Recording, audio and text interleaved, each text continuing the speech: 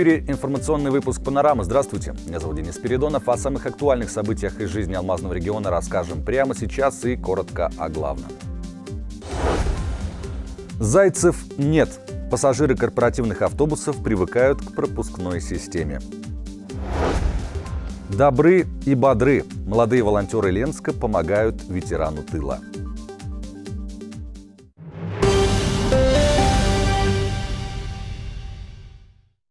И к первой теме. Заслуженный пульмонолог России назвал самых опасных распространителей коронавируса. По мнению Александра Коробиненко, это люди, которые уже переболели COVID-19 и отказываются носить маски. Медик объяснил, что коронавирус временно остается в верхних дыхательных путях даже после болезни. Меж тем, по данным Республиканского оперштаба, за последние сутки в регионе COVID-19 заболели еще 216 человек. Наибольшее количество инфицированных остается в столице Якутии. В Мирлинском районе 6 случаев, в Ленском 2. Власти отметили, если в начале пандемии удавалось снизить заболеваемость пожилых граждан, то сейчас их число растет. Причина – халатное отношение к ограничениям. Продолжаются свадьбы, продолжаются юбилеи с большим количеством продолжаем проводить мероприятия.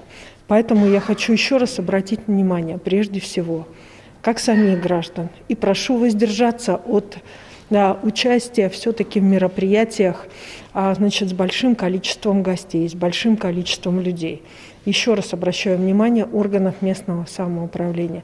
При проведении крупных мероприятий, которые вновь опять у нас зафиксированы как нарушения на территории республики, необходимо в обязательном порядке помнить о том, что существует и действует указ главы Республики Саха-Якутия о запрете на их проведение.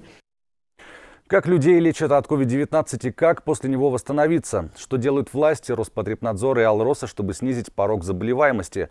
Ответы на эти вопросы уже в следующий вторник, 17 ноября, прозвучат на телеканале «Алмазный край». С 18 до 19 часов ведущие эфира побеседуют с гостями, среди которых руководители Мирлинского района, Алроса, Роспотребнадзора и Центральной больницы. Вопросы получится задать и заранее по номеру 8 800 255 21, а также во время эфира в чате трансляции на YouTube YouTube-канале Алмазного края. Продолжаем. Транспорт только для своих. Сейчас пассажир может войти в корпоративный автобус для сотрудников Алроса только по проездной карте.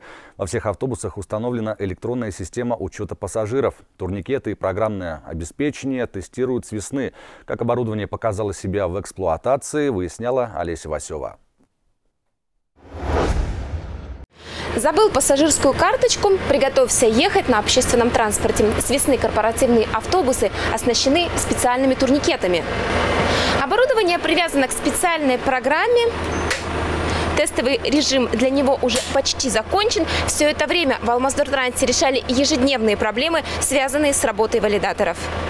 Валидатор – большой шаг к автоматизации производственных процессов. Все данные о заполняемости автобуса отражаются в программе. Так легче понять, нужны ли дополнительные остановки и корректировки маршрутов. Система учета работает по спутниковой связи. Если есть перебои в ней, будут неполадки в работе валидаторов. С этим в службе перевозок и боролись весь тестовый период. Поэтому специалисты ежедневно э, выявляют такие случаи, ну и, соответственно, отрабатываем по данным вопросам с нашей IT-службой Алмаз-Дортранс, с привлечением Алмаз Автоматики, с привлечением специалистов Штрихема. Ну и надеемся, что к концу года мы все-таки систему выстроим, оборудование и программное обеспечение заработает все-таки в полную силу. Валидаторами оснащены все корпоративные автобусы в Мирном и в Ленском. В зависимости от времени года менялось количество транспорта от 40 до 47 и от 7 до 12 соответственно. Турникет стоит в каждом автобусе. И кроме технических неполадок, транспортной службе приходится разбираться с претензиями пассажиров. Зимой она, как правило, одна. Неудобно в основном сильные морозы. Очень много народу заходит и задержка автобуса. И это время уходит, особенно в обеденное время. У нас оно очень короткое, и нам оно ценно, конечно. Неудобно, потому что народ друг за другом идет, зима, холодно. Главное неудобство – слабая пропускная способность носит сезонный характер. Заметное уменьшение претензий к работе валидаторов показал и квартальный отчет о работе автобусов. Его формулируют на основе обращений пассажиров в программе Helpdesk. За третий квартал на валидаторы поступили только две претензии. Один из пассажиров упрекает корпоративные автобусы в бесчеловечности. Мол, раньше водители в самые морозы могли и школьников подвести. Год назад эти же пассажиры жаловались, что не могут уехать на работу, потому что служебный автобус заполнен неработающими в Алроса людьми. Алисия Васева, Алекс Соснин, телеканал «Алмазный край». Тем временем Алроса получила многообещающие результаты от работ на алмазных месторождениях в Зимбабве. Об этом сообщила местная газета «Геральт». Председатель Совета директоров госкомпании Зимбабве Веллингтон Пасипамир отметил, есть очень интересные открытия алмазов, которые имеют высокую цену на рынке. В рамках партнерства с иностранной компанией Алроса настроена добывать до 10 миллионов карат в год. Министр добывающей промышленности Зимбабве подчеркнул, проекты с участием алмазной компании – ключевые элементы стратегии страны по привлечению иностранных инвестиций. В последние годы добыча алмазов в Зимбабве значительно сократилась в связи с ослаблением мировых цен на драгоценные камни.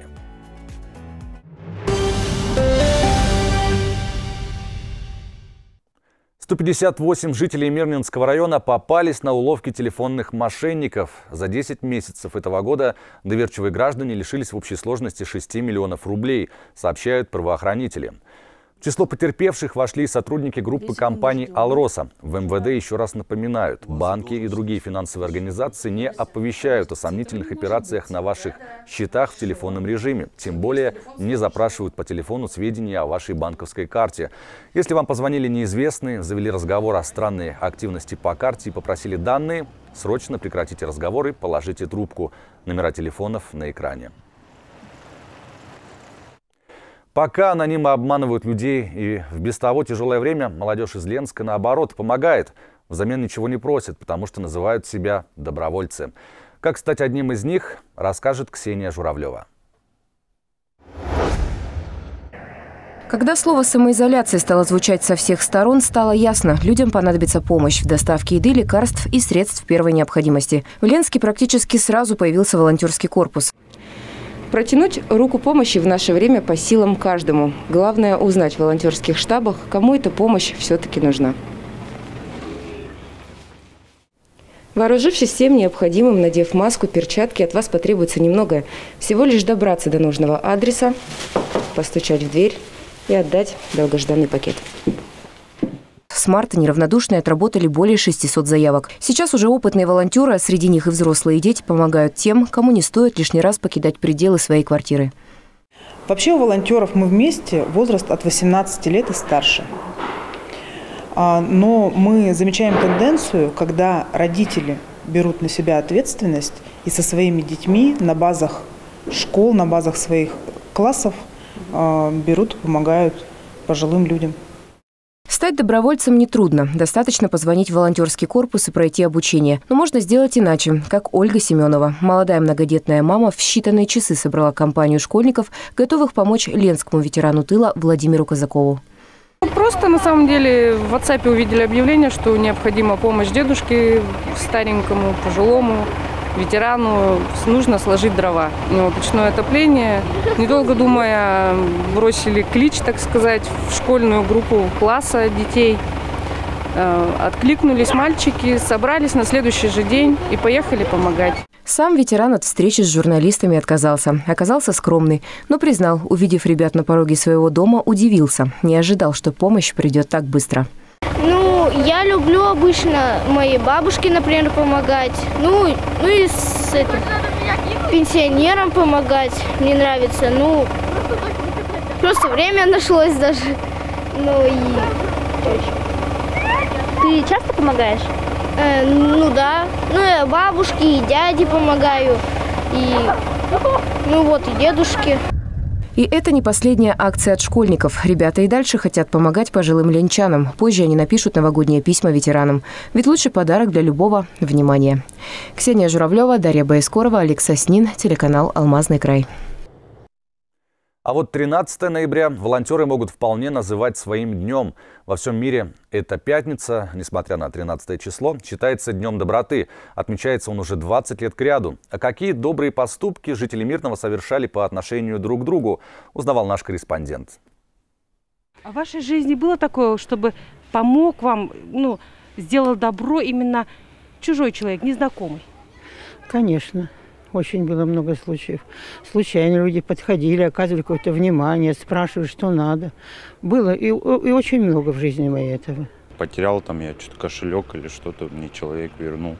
То есть бескорыстно, без всякого вернул, просто так. И таких случаев часто бывало? Ну, парочка было, наверное. Ну, я тоже, соответственно, так же делал, возвращал там деньги или телефон находил. Хороших людей больше, чем плохих. Так что если обратиться за помощью, я думаю, что таких людей больше. Родились двойня вот полтора месяца тому назад. Когда забирал ребенка, я его не знаю, он мне подарил 2000 рублей детям. Вот незнакомый человек.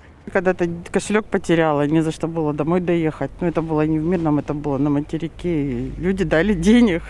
Вот я уехала в отпуск, вообще там растерялась, ничего. Я говорю, что делать, сижу, плачу. Меня взяли за руку, подвели, успокойтесь. Ну, это я просто до сих пор вспоминаю вот, от чистого сердца. Новости Алмазного края можно не только смотреть, но и читать их на нашем сайте. А что стало популярно у наших подписчиков, предпочитающих видеоконтент, в еженедельном рейтинге расскажет Никита Кисляков.